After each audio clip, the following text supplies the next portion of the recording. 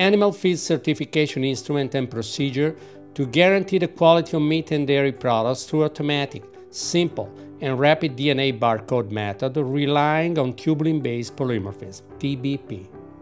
The FeedCode project aims to provide an animal feed certification pipeline and a procedure to guarantee the quality of meat and dairy products through an automated and simple method capable of identifying the botanical origin of the plant-derived ingredients, declare or not declare, present in a compound feed. FeedCode is a molecular method that allows, through a DNA analysis, an easy and simultaneous detection of the single, different plant components present in feed. Due to its wide versatility, it allows the identification of any plant species that may be used for feed preparation by comparison with a database. The method meets all the requirements in terms of feed traceability requested by the current EU regulation. At the end of the procedure, feed botanical composition is revealed by a DNA profile, which represents the sum of the individual DNA profiles of each plant species present in the feed sample. This DNA profile represents a unique barcode for that specific product. FeedCode is an integrated pipeline that allows for feed analysis through two different approaches qualitative, the platform, and quantitative, the probe. A dedicated software, FeedCode Manager, helps the operator during all the analysis steps, from feed arrival to the final assignment of the barcode. Upon arrival, each sample is marked with a tracking code provided by the feed code manager. Let's follow the pathway of two feed samples, FCR3 and FCR11, through the FeedCode pipeline. Each kind of feed is crushed to obtain a tiny powder in order to break the plant tissue and cell walls.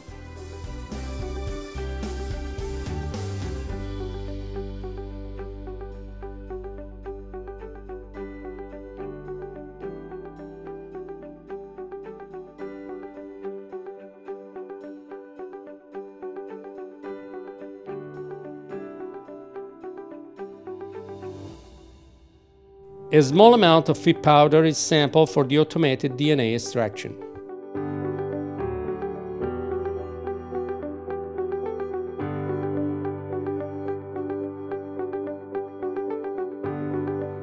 The addition of specific buffers facilitates cell lysis and thus DNA release.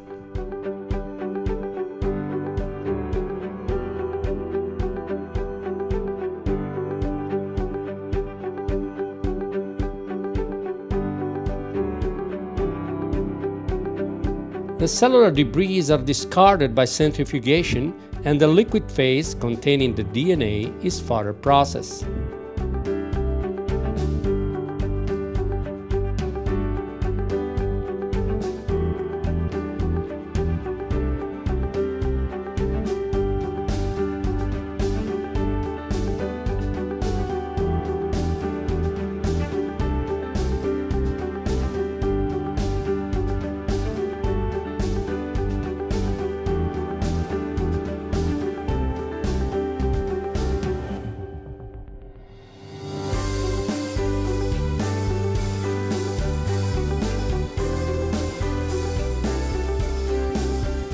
In the end of the extraction cycle, the solution contains the DNA of all the plant species that are present in the feed.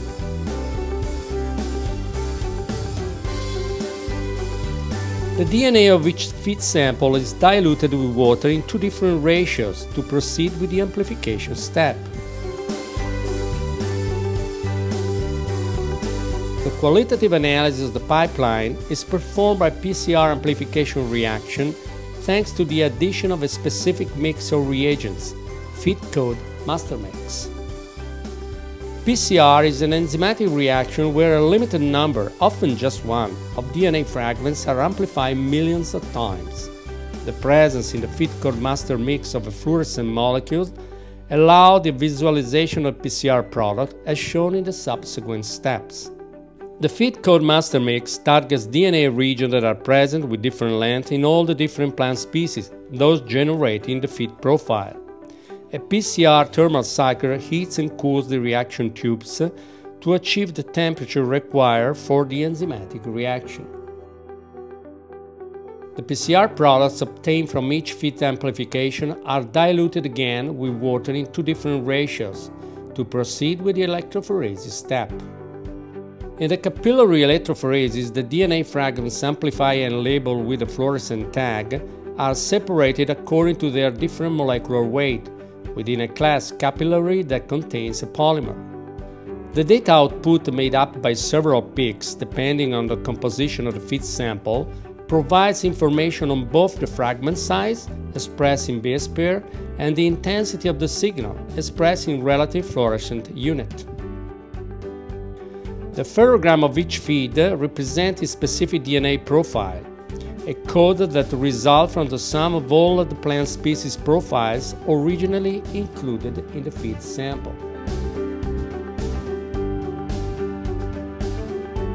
A dedicated software has been developed to evaluate the data output provided by capillary electrophoresis in order to assist the user with a screening tool capable of automatically defining at a qualitative level the botanical composition of any feed sample. The software compares the C profile of each feed sample with the electropherograms data related to 12 reference plant species present in the dedicated database of the FeedCode platform. The database has been generated starting from the amplification profile of gDNA extracted from individual plant species. Throughout the score and identification of unique peaks, specific for each of the 12 reference species, the software provides a value of relevance and a list of the plant species detected in the feed.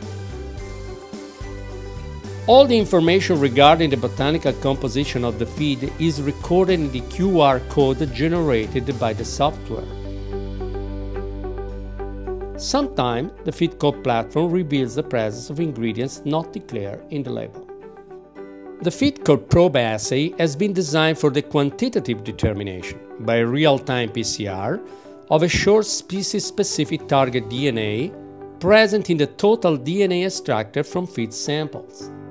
The goal of a quantitative measure is to give the best estimate of the actual DNA amount of the target plant species over the total DNA amount extracted from the feed. The DNA amount is estimated by measuring the fluorescence emitted after staining with a specific fluorescent dye. This is done with a dedicated fluorimeter. The output is directly loaded in the FeedCode qPCR software. At present, the precast FeedCode probe kit allows the simultaneous identification and quantification of seven different plant species flax, rapeseed, cotton, sunflower, peanut, sugar beet, and rice with very high sensitivity. A single assay plate can analyze three different feed samples plus the positive and negative controls. An aliquot of diluted feed DNA is loaded in the precast assay plate and the reaction starts.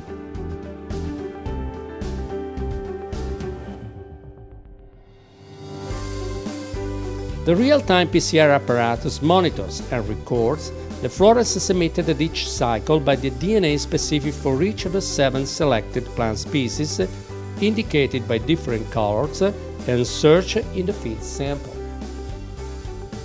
Data are transferred from the instrument to the qPCR software. The software calculates the number of target DNA copies of each of the seven target species using a predefined calibration curve. The amount of DNA is then normalized for the total DNA amount extracted from the sample. The output of the probe analysis defines if the amount of each species in each feed sample exceeds or not a reference threshold of value corresponding to a 1% of weight over weight.